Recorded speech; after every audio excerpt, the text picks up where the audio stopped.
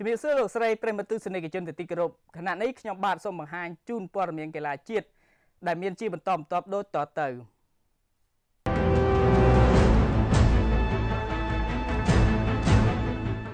យើងនាំគ្នាឆ្ពោះទៅ SEA Games ASEAN Para Games ឆ្នាំ2023ទាំងអស់គ្នាស្ថាបនិកបង្កើតព្រឹត្តិការណ៍កីឡាអ៊ុយត្រាត្រែលអង្គររំពឹងថា ព្រឹត្តិការណ៍កីឡាអ៊ុយត្រាត្រែលអង្គរឆ្នាំ2023នឹងទាក់ទាញភ្ញៀវទេសចរក្នុងតំបន់អាស៊ីនិងអឺរ៉ុបប្រមាណជា1000នាក់នៅអំឡុងខែកុម្ភៈខាងមុខនេះបន្ទាប់ពីខកខានការរៀបចំអស់រយៈពេល2ឆ្នាំដោយសារតែវិបត្តិជំងឺ Covid-19 នៅក្នុងឆ្នាំ2020និង2021កន្លងមកនេះព្រឹត្តិការណ៍កីឡាអ៊ុយត្រាត្រែលអង្គរឬហៅថាទិវារត់ប្រណាំងចម្ងាយឆ្ងាយនៅតំបន់អង្គរ ដែលក្រុងរៀបចំនៅថ្ងៃទី4ខែកុម្ភៈឆ្នាំ2023ខាងមុខនេះត្រូវបានស្ថាបនិកលោកអេដូចចប្រធានក្រុមហ៊ុនបាក់សៃសួររំពឹងជឿជាក់ថានឹងទាក់ទាញបានភ្ញៀវទេសចរកីឡាពីតំបន់អាស៊ីនិងអឺរ៉ុបចូលរួមប្រមាណជា1000នាក់ខណៈដែលការចុះឈ្មោះគិតត្រឹមថ្ងៃទី6ខែធ្នូឆ្នាំ2022ទទួលបានជាង800នាក់ទៅហើយកើនឡើងប្រមាណជា2ដងបើធៀបនឹងឆ្នាំ2019កន្លងទៅលោកអេដេចច បានលើកឡើងទៀតថាព្រឹត្តិការណ៍កីឡាអ៊ុយត្រាតែលអង្គរនេះបានរៀបចំឡើងក្នុងគោលបំណងផ្សព្វផ្សាយអង្គរវត្តដ៏ស្រស់ស្អាតទៅកាន់ពិភពលោកតាមរយៈភ្ញៀវទេសចរកីឡាក្នុងតំបន់អាស៊ីនិងតំបន់អឺរ៉ុបដែលបានមកចូលរួមលោកអះអាងថាព្រឹត្តិការណ៍កីឡារត់ចម្ងាយឆ្ងាយនេះនៅឆ្នាំបន្តបន្ទាប់ទៀតអាចនឹងរួមចំណែកទាក់ទាញភ្ញៀវទេសចរពីតំបន់អឺរ៉ុបឲ្យមកចូលរួមនៅអង្គរវត្តកើនឡើងពី20ទៅ25%បន្ថែមទៀត ហើយព្រឹត្តិការណ៍មួយនេះក្រុងនឹងរៀបចំឲ្យមាន2ដងក្នុងមួយឆ្នាំគឺនៅអង្គរវត្តនិងតំបន់ភ្នំ និងតំបន់ឆ្នេរសមុទ្រដើម្បីជាការផ្លាស់ប្ដូរបទពិសោធន៍ Uh, so we we uh, thank you for your question we had ខ្ញុំពិតជាមានការស្ទាក់ស្ទើរក្នុងការរៀបចំកម្មវិធីកម្មវិធីនេះឡើងវិញហើយដោយការខិតខំប្រឹងប្រែងហើយនឹងការអប ជួយកបធម្មគ្រប់គ្រងពី Committee Olympic កម្ពុជាអាជ្ញាធរអប្សរាហើយនឹងអាជ្ញាធរពាក់ព័ន្ធទាំងអស់ហើយយើងបានធ្វើកម្មវិធីនេះឡើងវិញហើយសម្រាប់លើកទី6នេះគឺយើងទទួលបានការទទួលចុះឈ្មោះអឺទ្វេដងអឺដោយសារអឺយើងកម្ពុជាមានកន្លែងតាក់ទាញនៅតំបន់អង្គរ ទី1ទី2យើងទទួលបានការចុះឈ្មោះពីជនជាតិកម្ពុជាច្រើនហើយចំណុចនេះក៏យើងសូមលើកទឹកចិត្តឲ្យប្រជាជនកម្ពុជាបន្តចុះឈ្មោះជាមួយនឹងកម្មវិធីយើងនៅពេលក្រោយៗទៀតបាទក៏ប៉ុន្តែយើងខ្ញុំចង់ឲ្យមានការខុសប្លែកគ្នាដោយសារយើងមិនចង់ឲ្យមានទស្សនវិជ្ជាដដែលដដែលសម្រាប់អ្នកចូលរួមអញ្ចឹងយើងឃើញតំបន់ឆ្នេរហើយតំបន់ឆ្នេរមានភាពតាក់ទាញ ដែលមានធម្មជាតិស្រស់ស្អាតជាពិសេសតំបន់ជួរភ្នំក្រវាញហើយអ្នករត់គាត់ចូលចិត្តរត់ឡើងចុះឡើងចុះដើម្បីឃើញធម្មជាតិទាំងអស់ហ្នឹងហើយដោយសារអញ្ចឹងបានយើងចង់ស្នើទៅធ្វើកម្មវិធីនៅតំបន់ឆ្នេរបាទស្ថាបនិករុកនេះបានបញ្ជាក់ទៀតថាសម្រាប់ព្រឹត្តិការណ៍រត់ចម្ងាយឆ្ងាយលើកទី6ដែលជាការបើកឡើងវិញបន្ទាប់ពីខកខានអស់រយៈពេល2ឆ្នាំនេះការរៀបចំកាន់តែទាក់ទាញជាងមុន ព្រោះថាយើងបើកកម្មវិធីពេលព្រឹកហើយបញ្ចប់នៅពេលយប់ដោយយើងបានរៀបចំផ្លូវមានរថកាត់ព្រៃភូមិខ្សាច់និងកាត់តាមប្រាសាទដែលការរៀបចំគឺចង់ឲ្យភ្ញៀវទេសចររីករាយជាមួយធម្មជាតិនិងសម្បត្តិបេតិកភណ្ឌប្រាសាទរបស់កម្ពុជាតាមពិតទៅកម្ពុជាគឺមានបេតិកភណ្ឌលំដាប់ពិភពលោក ហើយជាចំណុចដែលតាក់ទាញខ្លាំងហើយ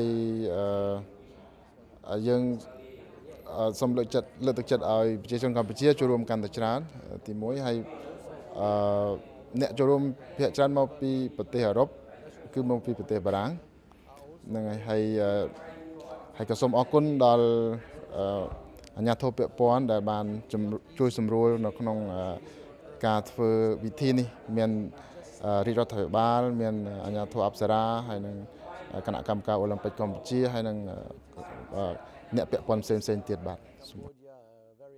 ឯកឧត្តមវត្តចម្រើនរដ្ឋលេខាធិការក្រសួងទេសចរទទួលបន្ទុកកីឡាទេសចរបានមានប្រសាសន៍ថាព្រឹត្តិការណ៍កីឡារត់ចម្ងាយឆ្ងាយដែលរៀបចំដោយក្រុមហ៊ុនទេសចរបាក់សៃសួរសហការដោយគណៈកម្មាធិការជាតិអូឡ িম্প ិកកម្ពុជា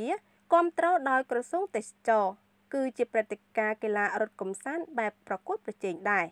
ប៉ុន្តែមិនមែនការប្រកួតប្រជែងយកឧត្តមភាពនោះទេ ការរត់នេះ គឺបញ្ជាក់អំពីអត្តន័យថារត់ឲ្យដល់គោលដៅកុំបោះបង់ទោះជួបឧបសគ្គយ៉ាងណាក៏ដោយឯកឧត្តមអរលេខាធិការចាត់ទុកព្រឹត្តិការណ៍រត់មួយនេះ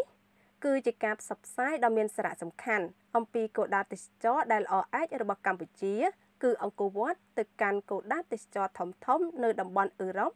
ដូចជាប្រទេសបារាំងជាដើមជាមួយគ្នានេះឯកឧត្តមរដ្ឋលេខាធិការក្រសួងទេសចរបានចាត់ទុកថា ការបើកដំណើរការព្រឹត្តិការណ៍រត់ចម្ងាយឆ្ងាយឡើងវិញគឺជាការឆក់យកភ្ញៀវទេសចរគ្រាមានវិបត្តិដោយប្រែក្លាយជាឱកាសសម្រាប់កម្ពុជាគូរំលឹកថាព្រឹត្តិការណ៍កីឡាអ៊ុយត្រាត្រែលអង្គរបានបង្កើតឡើងក្នុងឆ្នាំ2016ដោយផ្ដើមឡើងពីអ្នករត់ជាង100នាក់គូបញ្ជាក់ថាព្រឹត្តិការណ៍កីឡាអ៊ុយត្រាត្រែលអង្គរក្នុងឆ្នាំ2023គឺមាន7វិញ្ញាសាក្នុងនោះ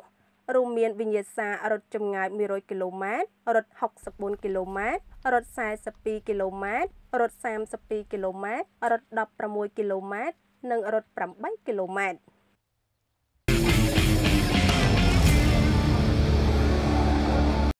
អាសនលបានបន្តជ័យជំនះរបស់ខ្លួនលើក្រុម Tottenham Hotspur ក្នុងលទ្ធផល2-0នាការប្រកួត Premier League សប្តាហ៍ទី18នៅថ្ងៃទី15ខែមករាជ័យជំនះនេះបានបន្តជួយកំភ្លើងធំកើនកម្រិតពិន្ទុនៅមុខកំពូលតារាង8ពិន្ទុ Newcastle United ដណ្ដើមបានលេខ3ពី Manchester United វិញក្រោយបន្តឈ្នះ Fulham ក្នុងលទ្ធផល1-0 គ្រាប់បាល់នាំមុខដំបូងរបស់អាសនលនៅក្នុងជំនួប London Derby នៅកីឡដ្ឋាន Tottenham Hotspur កាត់ឡើងដោយចូលទីខ្លួនឯងរបស់អ្នកចាំទី Hugo Lloris នៅនាទីទី14តាមរយៈការទាត់របស់កីឡាករ Bukayo Saka 20នាទីក្រោយមកខ្សែបម្រើឆ្នោតរបស់អង់គ្លេស Saka ដដែលបានបញ្ជូនបាល់ឲ្យមិត្តរួមក្រុម Martin Odegaard សម្រេចទីយ៉ាងល្អដើម្បីជួយក្រុមរបស់លោក Mikel Arteta នាំមុខពើពីគ្រាប់លទ្ធផល2-0បានរក្សារហូតបញ្ចប់ការប្រកួតតែម្ដងចំណន់12ប្រកួតចុងក្រោយ អាសនលមិនស្គាល់ពាក្យចាញ់ឡើយ ដោយរកបានជ័យជំនះ10លើកនិងស្មើ2សរុបទាំង18ប្រកួតក្រុមដែលដឹកនាំដោយអ្នកចាត់ការសញ្ជាតិអេស្ប៉ាញឈ្នះ15លើកស្មើ2លើកនិងចាញ់1លើកប៉ុណ្ណោះដោយរកបាន47ពិន្ទុឆ្លងកាត់18ប្រកួតដូចគ្នាកំភ្លើងធំនាំមុខគូប្រជែង Manchester City ដែលក្រុមការពារតំណែងជើងឯកចំនួន8ពិន្ទុ ប្រកួតចុងក្រោយរបស់ Man City ចាញ់ Man United ក្នុងជំនួប Manchester Derby នៅកីឡដ្ឋាន Old Trafford ក្នុងលទ្ធផល2-0ឈ្នះក្រុមមេឃាបិសាចក្រហមឡើងទៅឈរលេខ3តែប៉ុន្មានម៉ោងប៉ុណ្ណោះមុនពេល Newcastle ដណ្ដើមបានលេខ3វិញក្រោយពួកគេបន្តឈ្នះ Fulham ទាំងប្រព្រឹត្តប្រផាយក្នុងលទ្ធផល